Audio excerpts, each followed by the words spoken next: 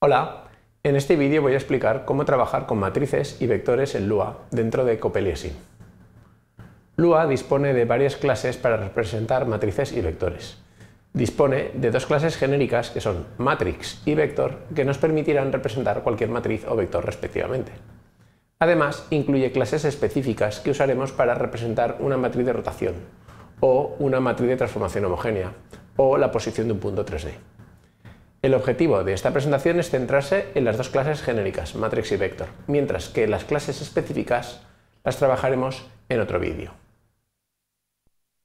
En primer lugar, dada una tabla de Lua, representada aquí por un conjunto de valores t, t1, t2, etc., podemos asignar dicha tabla o los valores de dicha tabla en un formato de matriz o vector según se muestra aquí.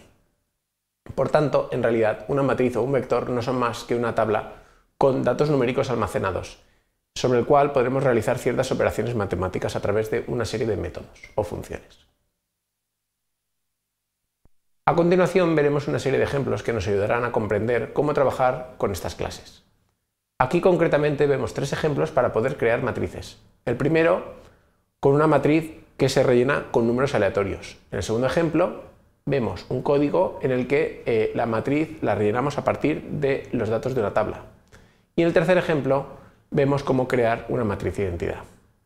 Si llamamos a la clase matrix o al constructor de la clase matrix y le pasamos solo dos argumentos, nos creará una matriz de ceros, es decir, una matriz rellena con ceros, con las dimensiones eh, indicadas. Existen otras funciones que pudieran ser de interés para crear matrices, como por ejemplo la, función once que rellena de unos los elementos de una matriz.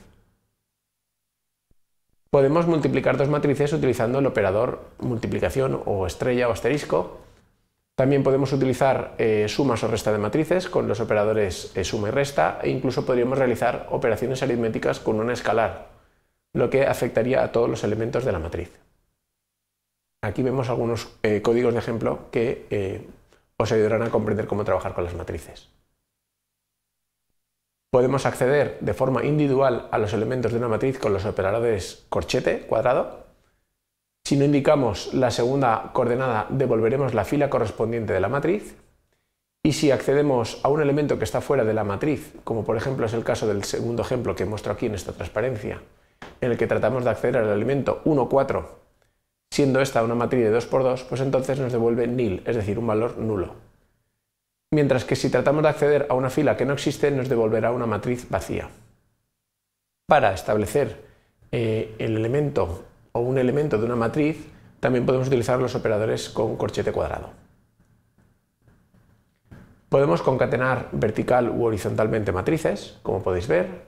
Obviamente eh, las dimensiones de las matrices deben ser consistentes, de lo contrario esto generará un error. Y también podemos, por ejemplo, acceder a una submatriz, con la función o el método slice, a la que le debemos pasar las coordenadas del primer elemento de la submatriz, como veis aquí, el elemento 2,1, y las coordenadas del último elemento, en este caso el elemento 2,3.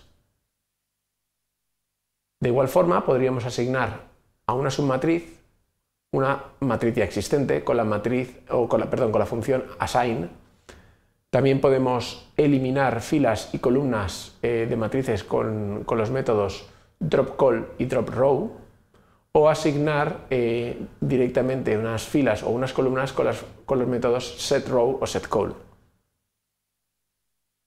La transpuesta de una matriz se obtiene con el método T de transpose, mientras que podemos calcular la inversa de una matriz cuadrada con el método de eh, Gauss-Jordan con la función o el método INVA.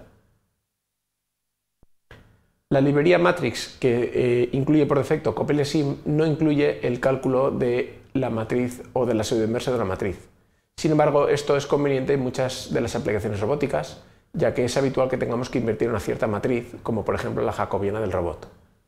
Por tanto, incluyo aquí un código que podremos incorporar eh, siempre en nuestro script para calcular dicha pseudoinversa. Eh, su uso es bastante sencillo eh, y podéis eh, comparar su correcto funcionamiento ejecutando el código que, aquí os muestro.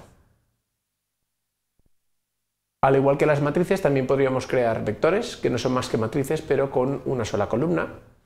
Eh, podemos asignarlos, crearlos o asignarlos de forma similar a como hemos visto anteriormente, porque de hecho se tratan como si fueran matrices, es decir, que la gran mayoría de las operaciones que hemos visto anteriormente pueden ser aplicadas. Y pues por ejemplo podemos multiplicar una matriz con un vector, porque en el fondo es lo mismo que multiplicar dos matrices eh, de las dimensiones adecuadas, y existen también unas funciones específicas para rellenar, por ejemplo, en este caso, un vector con un espaciador lineal, como por ejemplo lo que es el método linspace, pero también existen otros métodos como por ejemplo para, establecer el, el espacio logarítmico o geométrico. Bien, en esta presentación he introducido el uso de matrices y vectores en Lua dentro de lo que es Copeliasim. Muchas gracias.